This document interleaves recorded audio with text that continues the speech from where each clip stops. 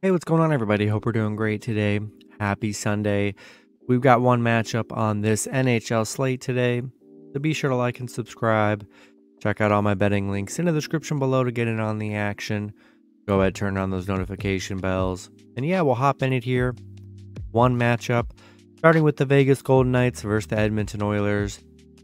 Edmonton opening up as home favorites at minus 180. Vegas plus 165 with the over under at six and a half. Yeah, we saw Vegas coming off a win yesterday uh, or the day before, uh, winning four to three, putting them up three to two in the series. Uh, I mean, they've been underdogs every game this series. Vegas has, uh, which is kind of crazy, and um, the fact that they're up, so really getting no respect here. Um,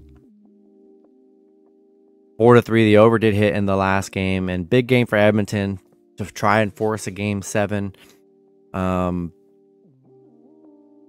no Laurent uh, Brossoit for Vegas. He is out.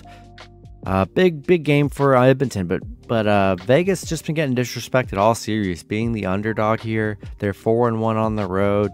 Um,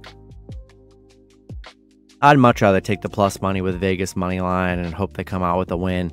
And then for the parlays, I'm still going to ride Vegas plus one and a half on the road. That's going to be it for the video. Good luck with your picks and parlays on Sunday. Hope you guys all cash out, and I'll see you guys Monday. Have a good one.